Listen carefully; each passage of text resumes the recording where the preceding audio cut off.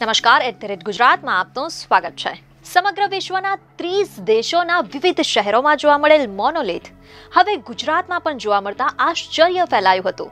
જી હા, આ જોવા મળ્યું છે ગુજરાતના અમદાવાદમાં. શહેરના થલતેજ વિસ્તારમાં આવેલ સિમ્ફની ગાર્ડનમાં આ રહસ્યમય સ્ટ્રક્ચર જોવા મળ્યું છે. જો કે આ સ્ટ્રક્ચર ક્યાંથી આવ્યું અને કોણે ઊભું કર્યું તેની કોઈની પાસે કોઈ જાણકારી નથી. મોનોલિથને મિસ્ટ્રી મોનોલિથ કહેવામાં આવે છે. અમદાવાદમાં જોવા મળેલ આ સ્ટ્રક્ચર સ્ટીલનું છે.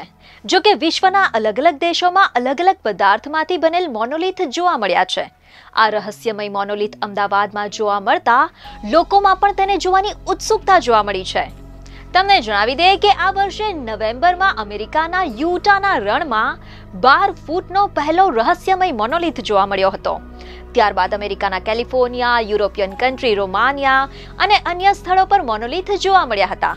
જી હા સમગ્ર વિશ્વમાં અત્યાર સુધીમાં ત્રીસ દેશોના વિવિધ સ્થળો પર આ રહસ્યમય મોનોલિથ જોવા મળ્યા છે. આ મોનોલિથ સમગ્ર વિશ્વના માધ્યમોમાં ચમક્યા હતા. જો અમદાવાદના સિમ્ફની ગાર્ડનના મોનોલિથની વાત કરીએ તો અહીં કામ કરનાર માળીએ મીડિયાને જણાવ્યું હતું કે એક દિવસ સાંજે તે ઘરે ગયો ત્યારે ગાર્ડનમાં કઈ જ પ્રકારનું કોઈ સ્ટ્રક્ચર ન હતું. જો કે બીજા દિવસે જ્યારે તે કામ કરવા માટે પરત આવ્યો, તો આ સ્ટ્રક્ચર એટલે કે મોનોલિથ ત્યાં જોવા મળ્યું. આ અંગે તેને ગાર્ડનના મેનેજરને પણ માહિતી આપી હતી. અહીં જોવા મળેલ મોનોલિથની ઊંચાઈ છ ફૂટથી વધુ છે. એટલું જ નહીં, તેને જમીનમાં ઊભા કરાયાના કોઈ ચિહ્ન પણ અહીં જોવા મળ્યા નથી, તેવા અહેવાલો સામે આવ્યા છે.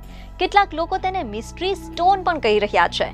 સિમ્ફની ગાર્ડનમાં અચાનક પ્રગટ થયેલ ત્રિકોણાકાર સ્ટીલના સ્ટ્રક્ચરના મોનોલિથમાં કેટલાક નંબર પણ લખાયેલ જોવા મળ્યા છે. ગાર્ડનમાં આવતા લોકો તેને કુતૂહલતાથી જોઈ રહ્યા છે. લોકો તેની સાથે તસવીરો પણ પડાવી રહ્યા છે. આ મોનોલિથના ઉપર એક સિમ્બોલ પણ જોવા મળ્યું છે. તમને જણાવી દઈએ કે સિમ્ફની ગાર્ડન પબ્લિક પ્રાઇવેટ પાર્ટનરશિપના ધોરણે ઊભો કરાયેલ છે. અમદાવાદના થલતેજ વિસ્તારમાં અમદાવાદ મ્યુનિસિપલ કોર્પોરેશન એએમસી અને સિમ્ફની કંપનીએ મળીને પબ્લિક પ્રાઇવેટ પાર્ટનરશિપ ધોરણે આ ગાર્ડન બનાવ્યો છે.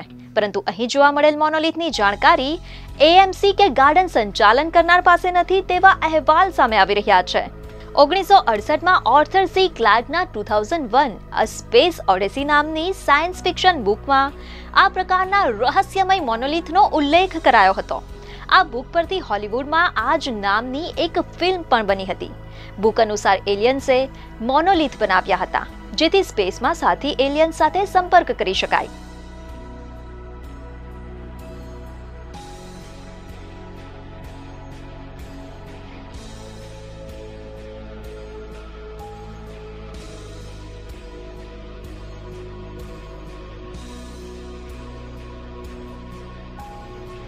બીજી અનેક ખબરો સાથે ફરી મળીશું. ધન્યવાદ. તમે અમારા આ વિડીયોને જો યુટ્યુબ પર જોઈ રહ્યા હોવ, તો તરત જ અમારી યુટ્યુબ ચેનલને સબસ્ક્રાઇબ કરો અને નવા વિડીયોના અપડેશન માટે બેલ આઇકન દબાવવાનું ભૂલશો નહીં. જો તમે અમારો આ વીડિયો ફેસબુક પર જોઈ રહ્યા હોવ, તો અમારા ફેસબુક પેજને જરૂર લાઇક કરો. વધુ અપડેટ માટે લોકસત્તાની વેબસાઇટને વિઝિટ કરવાનું ભૂલશો નહીં.